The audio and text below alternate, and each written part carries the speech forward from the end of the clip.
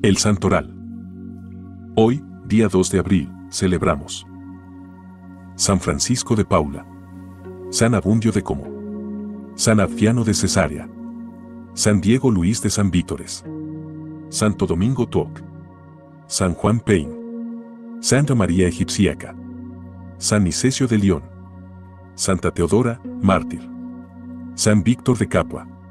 Beato Francisco Col, Beato Guillermo Ape, Beata Isabel Vendramini, Beato Iván Ciatic, Beato Leopoldo de Gaiche,